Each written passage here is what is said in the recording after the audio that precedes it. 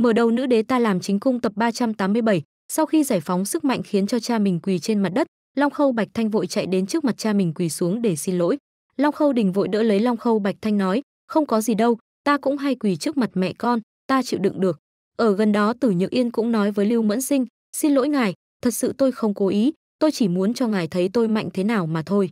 So với cha tôi thì tôi mạnh hơn rất nhiều lần, khi xưa tôi cũng không cẩn thận làm cho cha tôi quỳ xuống.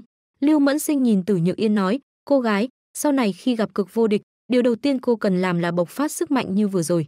Nói đến đây thì Lưu Mẫn Sinh bắt đầu tưởng tượng, tên đó vô cùng ngông cuồng, nói mình không sợ trời không sợ đất. Trên thế giới không có thứ gì khiến hắn phải quỳ, ta thật tò mò nếu hắn quỳ trước cháu gái mình thì sẽ như thế nào.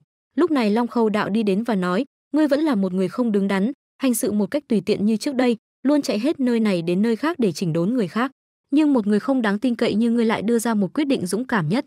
Long Khâu Đạo cung kính cúi đầu với Lưu Mẫn Sinh nói, ta làm lễ này vì những điều mà ngươi làm ở trăm vạn năm trước.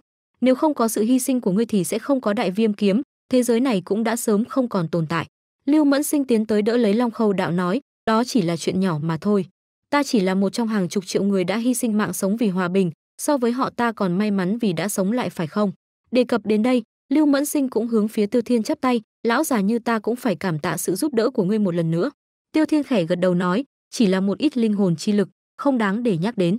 Sau đó, Lưu Mẫn Sinh cũng hướng phía Long Khâu Đình nói, ta phải cảm ơn người của Thánh Long vực, mọi người đã hy sinh nhiều thứ, dùng quê hương mình để nuôi dưỡng linh hồn cho ta, nếu không có sự giúp đỡ đó, ta đã sớm không còn tồn tại. Long Khâu Đình vội khoác tay nói, nếu như nói như vậy, vãn bối cũng phải cảm ơn tiền bối mới đúng, nếu không có ngài, thì Thánh Long vực đã không còn tồn tại. Lưu Mẫn Sinh nước mắt lang dài, sau đó chấp tay vái lại về phía những bài vị của 99 người con, trong lòng ông ta thầm nghĩ, rất may mắn khi ta có thể sống lại, các con ơi, cha xin lỗi các con. Thấy bầu không khí có chút nặng nề, Tiêu Thiên hò nhẹ mấy cái thu hút sự chú ý của mọi người. Tiêu Thiên nói, chú Long Khâu Đình, tiếp theo chú định sắp xếp Thánh Long vực như thế nào? Bây giờ tôi có thể di chuyển Thánh Long vực đến đế vực và tiến hành hợp nhất nó. Long Khâu Đình không biết chuyện hợp nhất đế vực là như thế nào, nhưng Long Khâu Bạch Thanh đã tin tưởng Tiêu Thiên, ông ấy cũng đành đồng ý, anh Tiêu, anh có thể làm bất cứ việc gì anh muốn.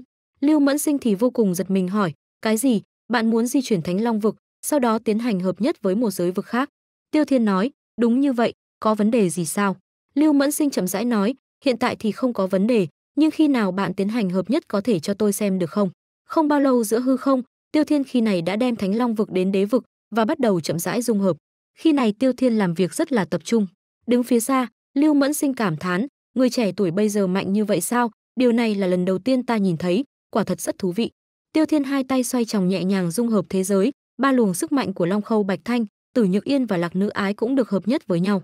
Sau khi hoàn thành, Tiêu Thiên cầm quả cầu trong tay nói, mọi chuyện thành công tốt đẹp, liên minh nữ đế hiện tại đã có ba thành viên.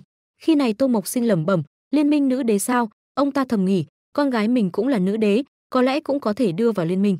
Nghĩ đến đây anh ta lấy điện thoại ra nhắn tin cho con gái mình, nội dung tin nhắn là, con gái, con có thích bị người khác ăn cơm chùa không? Nhìn thấy tin nhắn này, Tô Mộng Lưu Ly cảm thán, có phải bố đã uống nhầm rượu giả rồi không?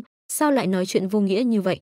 Nhưng nghe bố mình nhắc đến cơm chùa, cô ta bắt đầu suy nghĩ, nếu tìm người để ăn cơm chùa, thì vị tiêu tiên sinh kia là người rất thích hợp, dù sao cũng đã có hai nữ đế bao nuôi hắn, nếu ta gia nhập cũng tiết kiệm được ít tiền. Ở phương xa, đột nhiên Tiêu Thiên Hắc hơi một cái, tự hỏi ai đang nhắc đến mình, thôi quên đi, phải nhanh chóng trở về bảo Trung Dương Minh làm cho nhiều đồ ăn ngon. Đặc biệt là tài nghệ làm món nướng của hắn rất tuyệt vời, vừa nhắc đến là ta đã cảm thấy đói. Video đến đây là kết thúc, cảm ơn các bạn quan tâm và theo dõi và hy vọng các bạn sẽ yêu thích video của mình. Các bạn có thể ấn vào nút đăng ký cũng như chuông để nhận được thông báo video tiếp theo một cách nhanh nhất. Mình xin chân thành cảm ơn.